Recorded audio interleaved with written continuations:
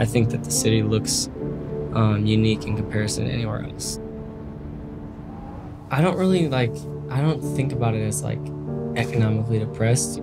I'm just used to it. I mean, when I go other places, I see that it's different, but I never knew like, I never traveled outside of St. Louis until I went to California. So 15 years, the first 15 years of my life was all in St. Louis, all. Never went anywhere. When I go other places, that's when I usually see like, oh, I don't think of it as St. Louis looks different than this. I think this looks different than St. Louis. Like everything is based around St. Louis for me, everything.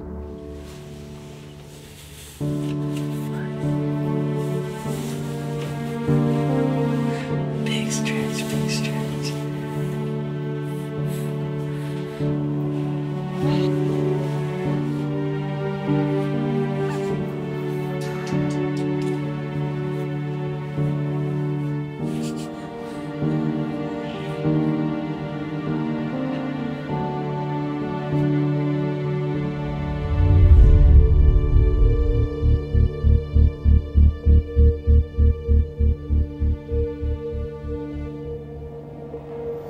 I didn't really understand, I guess, what it really was.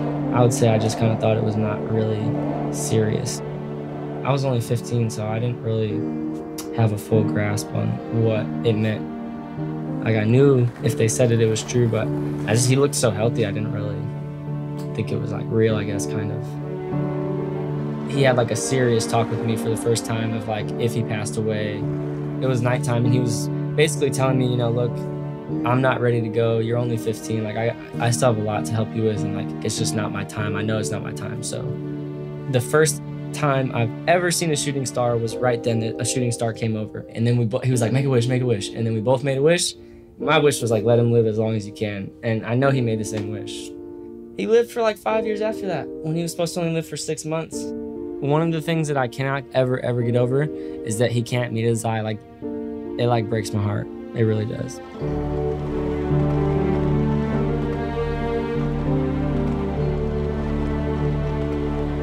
We met in social studies when we were 14. We've been actually dating since eighth grade. We broke up for a year in between, but I used to tell my dad, with Mariah in front of me, we're gonna get married one day. My dad would be like, ha ha ha, okay, you guys are so cute, you think you're gonna get married. And we are married and have a baby, man. People are always like, think Azai's my cousin or something, or like I'm babysitting. I literally, I'm so happy that I have Mariah and the baby. Like, I like it exactly the way it is. I love it. I love Mariah and Azai. If I didn't have them, the, the stuff with my dad would be really hard.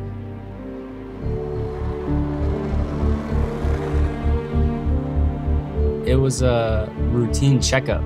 Her blood pressure came back extremely high. They started doing all these intense ultrasounds. More nurses just kept coming in, coming in, coming in. They couldn't find his heartbeat, which was when they had to do the emergency C-section right away. The reason they had to take him out was not only that he he could have passed away, she could have passed away. I didn't have anybody there at the hospital with me. I was by myself. I saw Mariah open on the table. Then they took me over to see him in the incubator, and he was tiny. He was born two pounds, seven ounces. Before I had even had a minute to just look at him, they asked me if I knew what was wrong with his thumbs. We were in the intensive care unit with Azai for 85 days. I was working two jobs, go to my first job at about 6:30 in the morning and get off at 2 and go to my second job at 3 and then get off at about 10:30 at night. There's certain things that you just have to do. And one of the things that my dad always told me when he was sick, you just always have to take care of your family.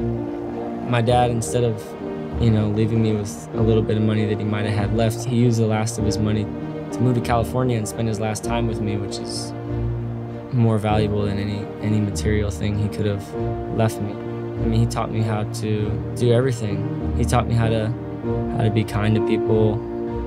He taught me how to be a good person. He taught me how to take care of my family even though my family wasn't even there yet. How to always be positive and he taught me to never stop pushing.